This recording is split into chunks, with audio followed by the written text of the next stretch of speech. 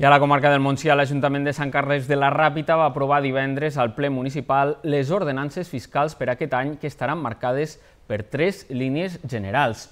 D'una banda, una baixada d'impostos, més sensibilitat social i ajudes per a la generació d'activitat econòmica. Un dels impostos que més es rebaixarà serà el de béns immobles, l'IMI, que es redueix en un 4%. Les noves ordenances fiscals estableixen també bonificacions per a les famílies amb un major risc d'exclusió social i la instal·lació de noves empreses.